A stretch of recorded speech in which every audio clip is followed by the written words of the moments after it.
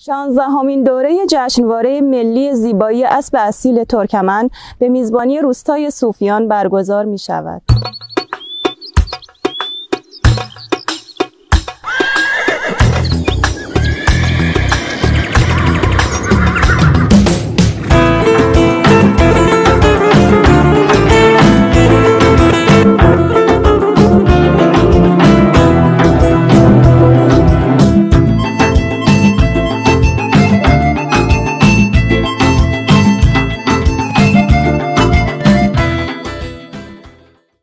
جشنواره زیبایی اسب اصیل ترکمن برای اولین بار در سال 1384 توسط خانم لوئیس فیروز در روستای صوفیان برگزار شد.